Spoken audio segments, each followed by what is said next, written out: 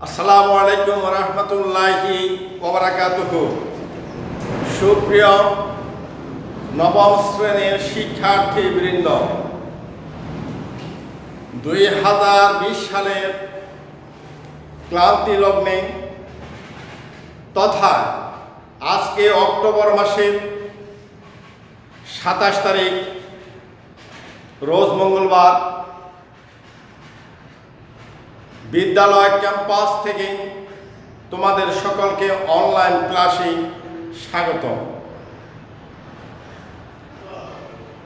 আমি মোহাম্মদ কুরবান আলী, সিনিয়র শিক্ষক, রামনগর কেএমসি উচ্চ বিদ্যালয়, রামনগর দাগন ভূঁইয়া ফেনী। আমি আজকে তোমাদের সামনে যে বিষয়টি উপস্থাপন করব তাহা হচ্ছে ইসলাম ও নৈতিক শিক্ষা। ইসলাম ও নৈতিক শিক্ষার মধ্যে পাঁচটি অধ্যায় রয়েছে।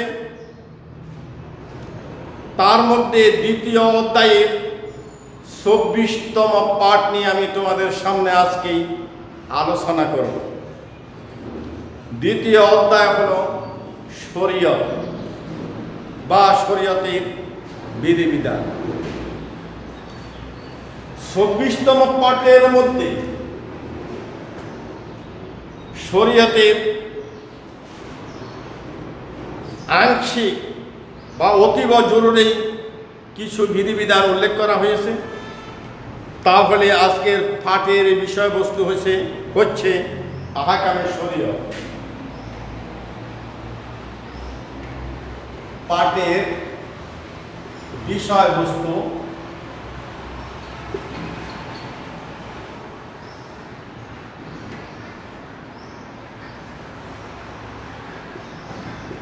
আহাকামে শরীয়ত অর্থাৎ শরীয়তের বিধিবিধান। তাহলে আমরা সর্বপ্রথম আহাকামে শরীয়তের পরিচয়টা জেনে নিই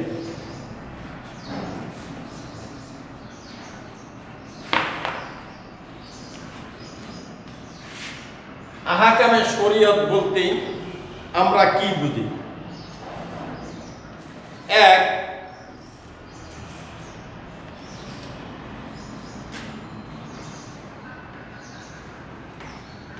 আহাকাম আরবি শব্দ এর অর্থ হল বিধান সমূহ।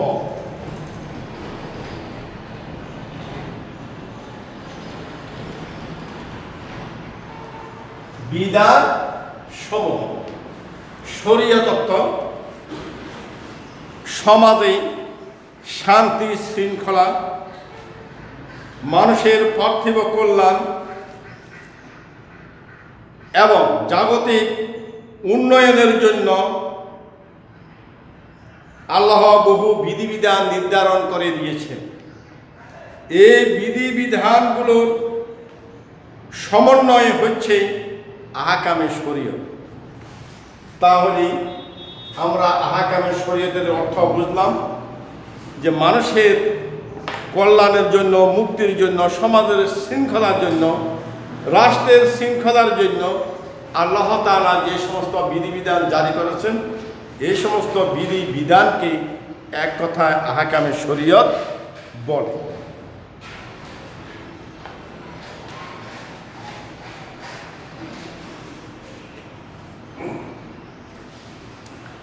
আহাকামে শরীয়তের থেকে আমরা একটি উদ্দীপক আমরা তৈরি করেছি। চব্বিশতম পাঠ থেকে তোমরা খুব মনোযোগ সহকারে বোর্ডের দিকে লক্ষ্য করো। এখানে একটি চক তৈরি করা আছে। প্রদত্ত চকের আলোকে নিচের প্রশ্নগুলোর উত্তর দাও। শরীয়তের আহকাম সংক্রান্ত পরিভাষা। এক, ফরজ। দুই, ওয়াজিব, তিন, সুন্নাত, চার, মুস্তাহাব।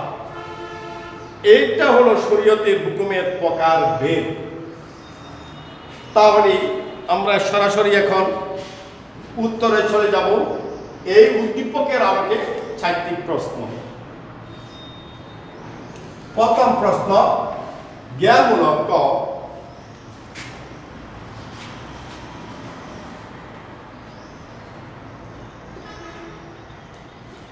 আহাকামে শরীয়ত বলতে কি বুঝো? বা আহাকামে শরীয়ত কি?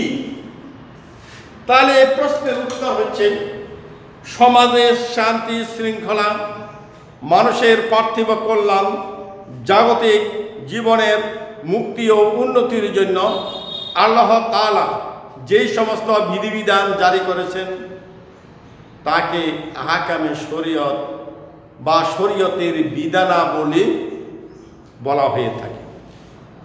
এ পর্যায়ে আমাদের প্রথম প্রশ্নের উত্তর শেষ। আমরা আলোচনা করব খ।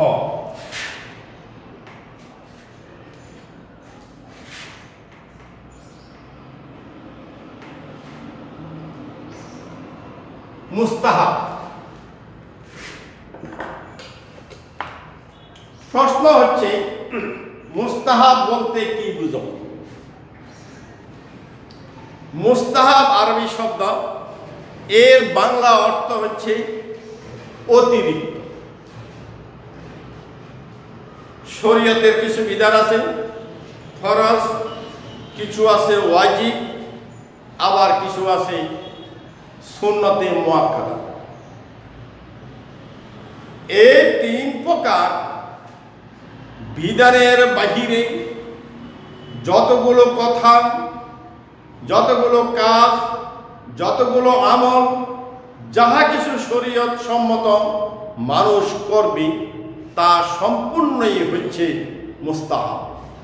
যেমন, জহুর নামাজের ফরজের পরে শূন্য শূন্যতের পরে দুই রেখাত নফল, তা পড়া মোস্তাহাব। আসর নামাজের পরদের পূর্বে রেখাত সুন্নত পড়া মুস্তাহাব, মাগরিবের সুন্নতের পরে দুই রেখাত নফল পড়া মুস্তাহাব, অনুরূপভাবে এশার নামাজের পরদের পূর্বে রেখাত সুন্নত এবং ষোড় সুন্নতের পরে দুই রেখাত নফল পড়া মুস্তাহাব। যাহা আদায় করলে বান্দা সওয়াব পাবে, নেকি পাবে, আর যা আদায় না করলে কোনো অন্যায় হবে না, তাকে মুস্তাহাব। তাহলে এই পর্যায়ে আমরা অনুদানমূলক প্রশ্নের উত্তর আমরা শেষ করেছি আমরা এই পর্যায়ে গ, প্রয়োগমূলক প্রশ্নের উত্তর নিয়ে আমরা আলোচনা করব প্রয়োগমূলক প্রশ্ন হচ্ছে উদ্দীপকের তিন নং বিষয়টি তোমার পাঠ্য বইয়ের আলোকে আলোচনা করো। এটা শেষ দিয়ে বিষয়টি হচ্ছে লক্ষ্য করো সুন্নাত। সুন্নত শব্দের অর্থ কি? আমরা প্রথম বুঝতে হবে।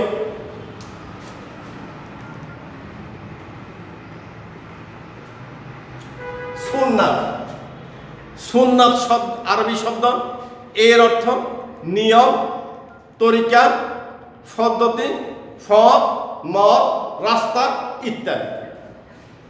ইসলামী শরীয়তের পরিভাষায় নবী করিম সাল্লাহ যেই সমস্ত কাজগুলো সব সময় করতেন এবং উম্মতকে করার জন্য উৎসাহিত করতেন, তাকে সুন্নত বলা হয়ে থাকে।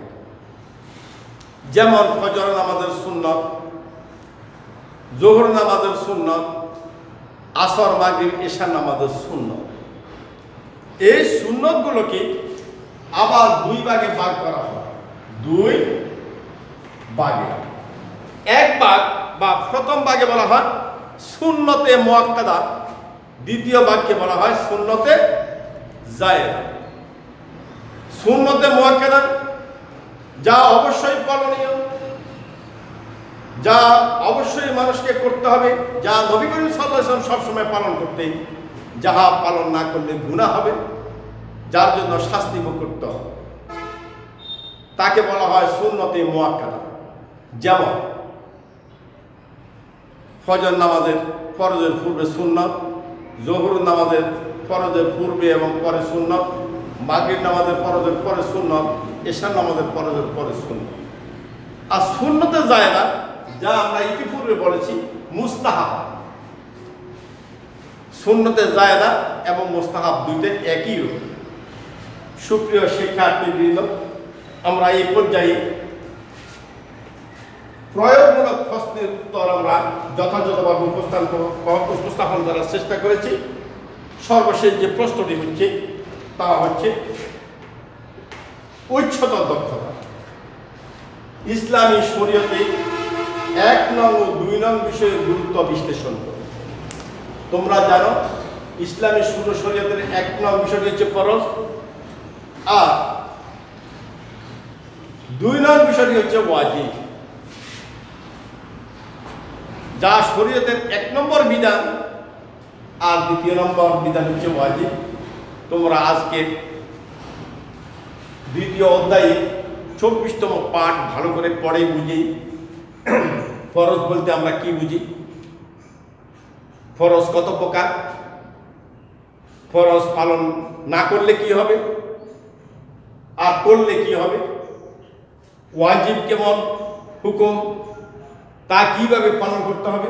এবং উভয়ের উদাহরণ সহ তোমরা বাইরে শিখে পরীক্ষার জন্য প্রস্তুতি নিবে। এবং আগামী ক্লাসে তোমরাদের থেকে আমি এই সম্পর্কে ধারণা নেব। আজকে আমরা জ্ঞান, অনুধাবন, প্রয়োগ পর্যায়ে আমরা উত্তর উপস্থাপন করে আমরা ক্লাস এখানে ইতি টানছি। বাড়ির জন্য উচ্চতর দক্ষতা পড়া দিলাম। আজকের ক্লাসে সবাইকে ধন্যবাদ। সবাইকে শুভ বিদায়। আগামী ক্লাসের জন্য সাদর সম্ভাষণ।